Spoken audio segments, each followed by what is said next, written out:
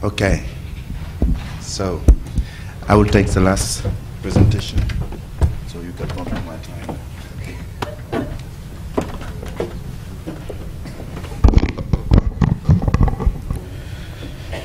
So thank you very much. I'm Cheikh Mbow from University of Dakar, Senegal.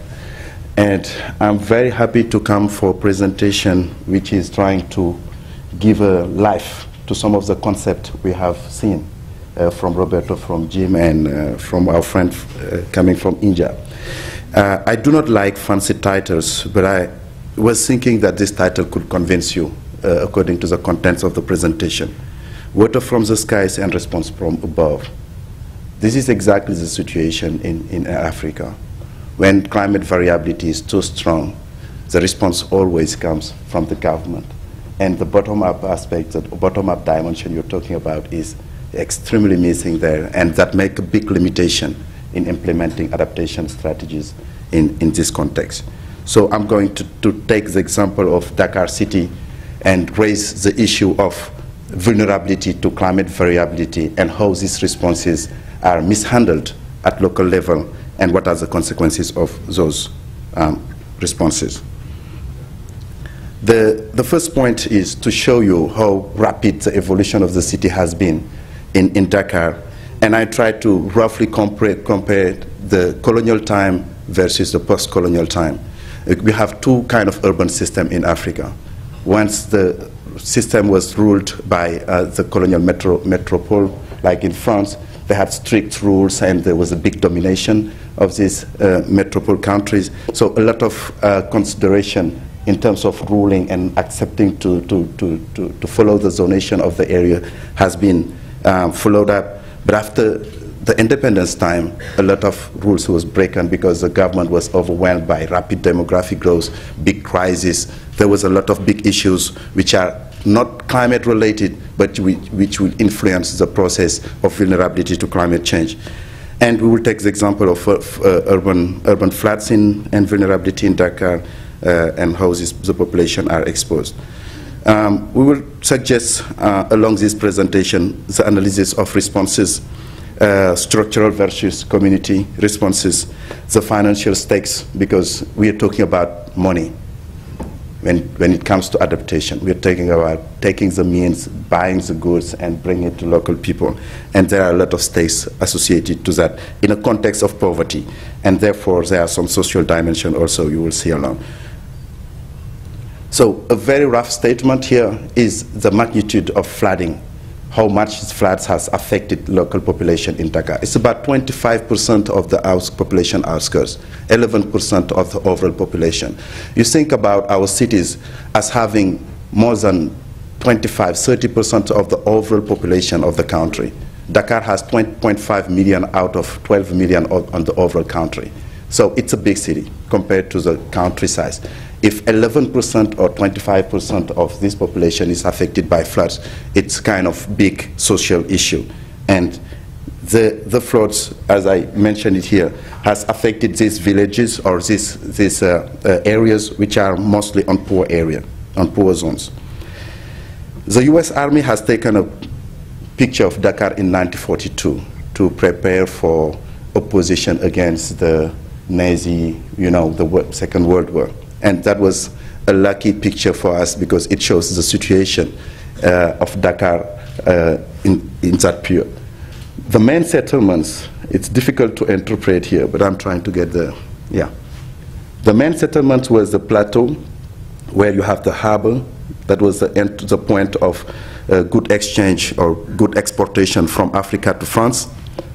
We have the airport. Oops, yes, right here, small airport, and a couple of small villages, which are native population villages. All the rest of the landscape was water stream, natural vegetation, fields, etc., etc. Look at the situation in 2007, a courtesy of USGS again. All those natural areas was completely occupied. No discrimination about depressions, no discrimination about clay areas, every piece of land is occupied. And you know the reason? That is, Dakar area is surrounded by water. It's not like these big cities where you have a lot of space and people can expand. we do not have the choice. We're squeezed in space, and people had to build every piece of land. And therefore, they occupied unsweeted land. Between 2000, 1942 and 2007, the city has been completely occupied. Now we get interested in knowing what is the topographic situation of, of, the, of the metropole. As you can see here, more than 30% of the overall area, which is only 500 square meters. Only on 500 square meters, you have more than 30% below 5 meters high. We take the SRTM uh, digital terrain model to, to do this map.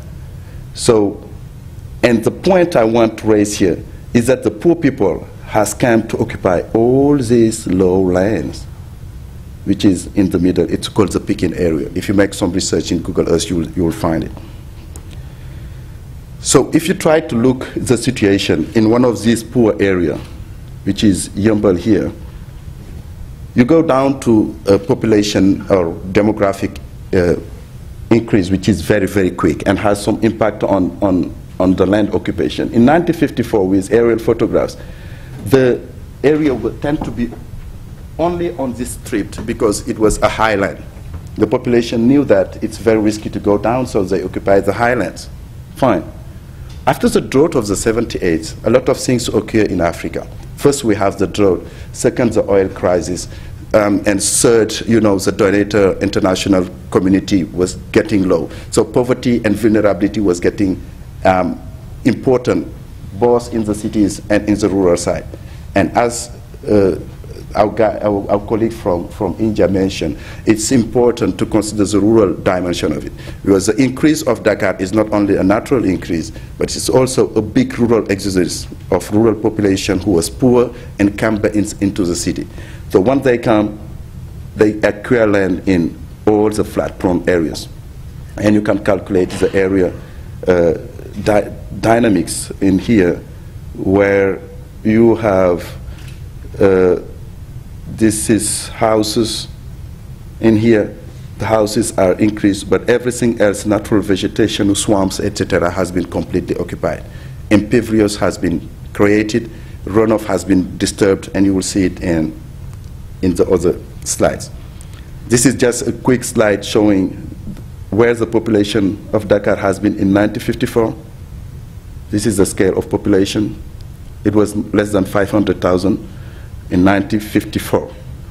By 2005, we was over 2.5 million CF, uh, uh, persons in, the, in these 500 square meters. And then extreme events has increased um, the vulnerability. The August month rainfall has been changing over the years. You have the gray bar here, which is August month's uh, rainfall. It has been very high over the past, but out of the sudden, it starts decreasing in the last decade, the August rainfall has gone very, very high. In one month, you can have 50% of the overall rainfall of the, of the season. And this intensity of rainfall create these big extreme floods we have in Dakar over time. This is some evidence of the land occupation. You, you can see how dense is it. But the most important is to see how this is related to the topographical situation. This is, again, this digital terrain model, and all the bluish and like uh, yellow things are the lowlands. You can see it in a, in a three-dimensional view here. And some of these lakes can be seen as a picture in this, in this image. But what happened is local population tend to go down to these streams because it was dry at some time and once they, at that time they was getting their house built, this area was kind of dry.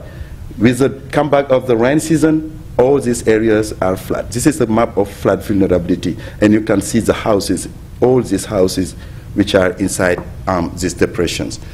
In 2009, the floods has affected about 20,000 um, uh, families uh, in, in Dakar City and create a big social crashes. Oops. Oh man, okay, no problem. This is a, this, uh, the view of the digital terrain model in three dimensions. We, we try to wrap the, the houses on top of the, of the terrain model. The important message I want here to, to raise is the fact of blocking the water streams. People will settle in depressions. They're not only exposed to, to, to, to flooding, but they block the water flow, uh, flow down to the, to the lakes. So all the water system, all the water streams are completely disturbed. So we are creating small lakes here and there, and the flood magnitude has been bigger and bigger. And this is the results. Um, this was uh, 2008 picture. These guys. And you see the houses which are blocking the water stream, it creates this type of situation. They block the water and the water enters the houses. So once, one way to deal with the flooding in this context is to try to reconstruct, to reshape the, the water basins and enable the water to naturally flow. And people are trying to pump the water, but look at in terms of extreme situation. Oops. My animation do not work. What I want to raise here is the water is coming from the water table. So we have a big saturation of the water table. A small amount of rainfall can create a rapid occupation of water in these depressions. And what the government is doing now is to, to buy big pumps and try to get the, to pump the water out of the areas. So it's trying to, they're trying, as I said in the beginning, to respond, to bring bad response, uh, good response to bad, bad questions. The question is not to pump the water, the question is how to improve urban, urban structure. Also pictures of impact, you have seen it, all these houses, you know, health issues in, in this area. Even, even some areas which are supposed to be rich are affected because people do not take into account the infiltration um, uh, process in the area. So now comes the social issues. In 2005, after the big um, flood, we, we know the government and the armies, I said sometimes, with a lot of issues. Women was raped, education was breakdown. There was so many big issues there because it was really difficult to control it. And then they, they saw that most of the schools in the urban outskirts, these schools was in depressions. So now, once we have flood, we take people to the schools as shelters, but the schools are flooded. And right after the rain season, the school has to open. The kids need to go to school, but the school has water. So it creates a big mess and problems in, in the country over time. And this has been the situation uh, this year. We have 94 schools which was flooded, completely flooded, when people was needing it to, to start school. So a lot of social issues are, are there. Other dimensions um, of it is population movement we, we, we do think that when these floods affect these areas, people will move from their houses. But right after the rainy season, they will come back. So, and once they come back, there is a big exposure to, to big um, health issues like meningitis, cholera, etc. So the public health issues is extremely present in this, in this business. Now, what to solve these issues, I will go to, to the solutions which they was suggesting over the time, is to create some small um, water retention in, in, the, in the area. This is one of these. One of was a water retention point. In 2006, it was being built. In 2009, this is what the situation is.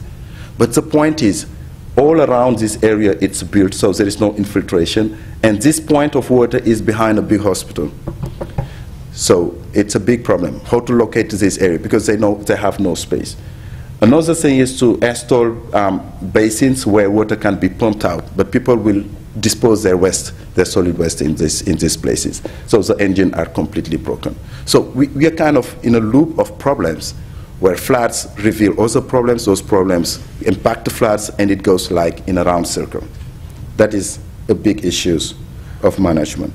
These are the other solution. They create this basin to host the water, to get the water, and the rain was so heavy that this water was released back into the houses. And these are the type of machine engines they're putting there. No gas, just one person to say, oh, people, we're working on it, and we pump the water. The, the question is not how to pump the water. The question is how to structure the urban, the urban area. Um, while solving other problems, this is another issue I want to raise because when we deal with adaptation, we, we go to climate change issues, but sometimes when the state are doing some infrastructure building, they're creating some other issues. Here is an example. This is a toll road, new toll road coming, going out of Dakar. In building this toll road, you will suggest that they make a bridge every time they find a water, water point.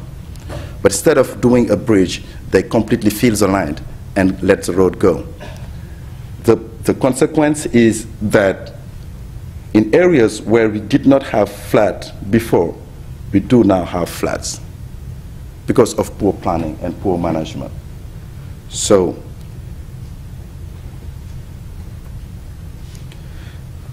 now the last solution is okay, these people are affected by floods. We take them from this place to this place. It's five miles away. Another big poor decision in terms of managing um, the area. Here is how the houses looks like. It's called Plan Jaxaay. It's really social houses, about uh, 12,000 US dollars. But this price for this house is very expensive for the, for the poor population still. So the question of poverty, development, and vulnerability comes in. This is how the house looks like. And the main question we are asking here is, if people will not sell back these houses and pocket the money, and go back in the flood-prone areas. It, we call it population substitution because it happens in a World Bank program which is called Parcelles Assainies. It was meant for poor people. They got the land, they built them nice houses, and the middle class come and buy the houses from them. It could happen in this type of situation. Oops, this is not the right presentation. Sorry, that's why. This is not the right presentation, but that's fine. So so who is accountable at the end of the day? Is the population who acquires the land in flood-prone areas, the local administration who didn't prevent the floods, the technical services, or the government with an unclear uh, policy uh, on urban issues? I tried to raise these questions uh, and suggest um, responses from you because until now, a lot of people was asking questions, but I want you to bring responses to the main issues we, we have raised here. I'm sorry this was not the last final presentation, but it gives a good picture of the situation of Dakar. Thank you very much.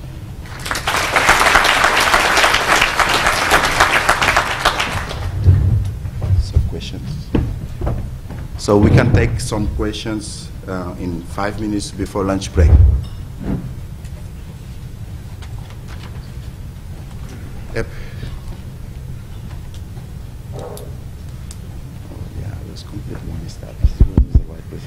Xiang Deng from China. So you give us a good case as for the, the flooding problem and as also as due to the process of urbanization. So my. We have also have this case in China. My question is, you, you mentioned uh, quite a lot uh, the measures as for like uh, reallocate the population bumping the waters, etc., etc. Do you have some like uh, uh, institutional arrangement from the city level or the national level to do this, like to cope with this problem? That's my question. Yeah. What is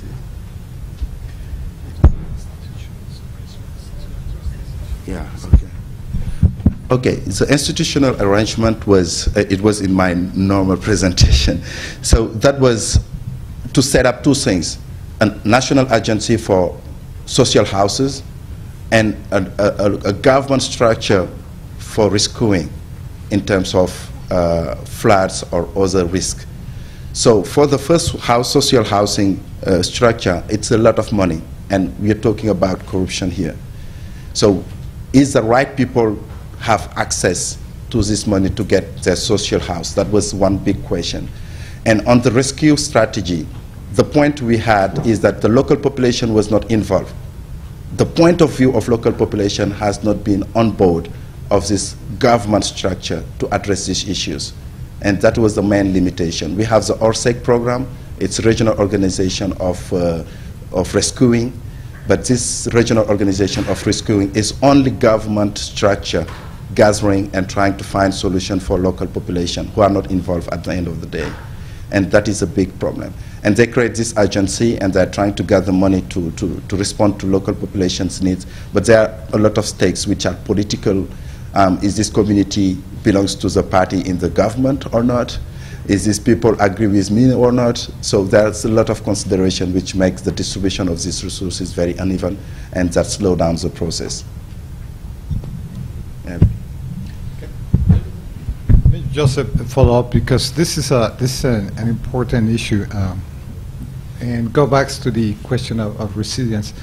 Um, one of the one of the big ironies and one of the big tragedies actually of, of this process is that even though the governments have uh, invest very scarce resources in, in reconstruction of after damages, often the reconstruction is in the same place with the same standards, and the problem is repeated two or three years down the road. I mean, Mexico, for instance, just south of the border, uh, quadruple its budget for attention of, of disaster relief this year compared to last year, four times the budget. They're reconstructing the areas that were flooded a couple months ago in different parts of the country. But they're reconstruction in the same place, with the same standards, the same type of, of, of buildings and, and urban areas that were affected. So it's just a disaster on the waiting. I mean, next year in floodings, it's probably the same people who are going to be affected. So the challenge is, is how do we make a difference? How do we really transform into just a reactive response into a proactive and more resilient response to help these communities forward? And of course, this has become a business for some states, government, uh, uh, in, and local uh, governments. Has become a business, really, because they get a significant amount of resources all of a sudden after a disaster. And uh, it's not that it's only corruption, it's that the business of uh, the whole structure of, of, of political and, and, economic interests within that area is really profiting from the disaster of, of, of the poor people. Mm -hmm. Question before lunch break. Are we having lunch break at 11.30? Okay. So we can have one last comment or question. I ask for solutions, so if somebody has some solutions to bring it along. okay, no solution for the big